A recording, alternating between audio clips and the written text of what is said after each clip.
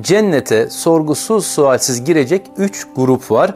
Peygamberimiz aleyhissalatü vesselam o grupları bize hadisi şerifte bildirmiş. Birinci grup teheccüd namazını kılanlar. Teheccüd namazı o kadar değerli bir namazdır ki Peygamberimiz aleyhissalatü vesselam buyuruyor ki farz namazlardan sonra en kıymetli namaz gece namazı yani teheccüd namazıdır.